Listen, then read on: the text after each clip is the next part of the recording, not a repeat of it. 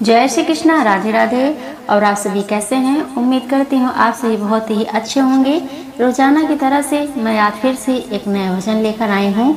ग्यारह माता का एकादशी, यानी कि अब की एकादशी नवंबर में 29 तारीख को पड़ रही है तो आप एकादशी व्रत ज़रूर करिएगा।